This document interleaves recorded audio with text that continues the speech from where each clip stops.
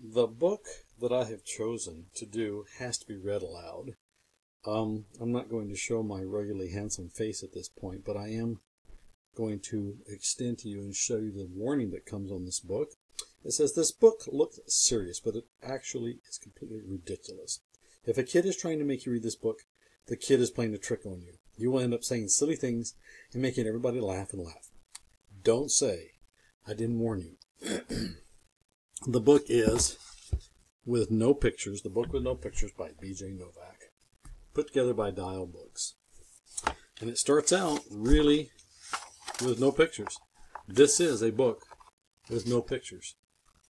Sorry for the fuzziness. It might seem like no fun to have someone read you a book with no pictures. It probably seems boring and serious, except here's how books work. Everything the words say, the person reading the book has to say. No matter what. That's the deal. That's the rule. So that means even if the words say blork, wait, what? That doesn't even mean anything. Blurf! Wait a second, what? That isn't the kind of book I want to read, and I have to say every word the book says. Uh oh. I am a monkey who taught myself to read. Hey, I'm not a monkey.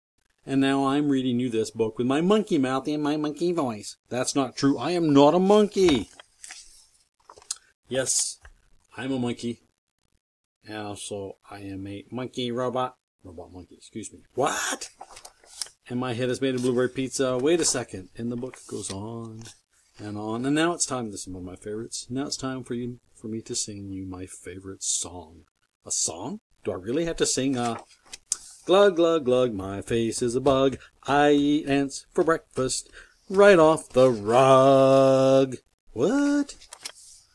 This book is ridiculous. Can I stop reading yet? No. There are more pages. I have to read the rest. My only friend in the whole wide world is a hippo named Boo Boo Butt. Boo Boo Butt? And also, the kid I'm reading this book to is the best kid ever in the history of the entire world. Oh, really? And this kid is the smartest kid, too, because this kid chose this book even though it had no pictures.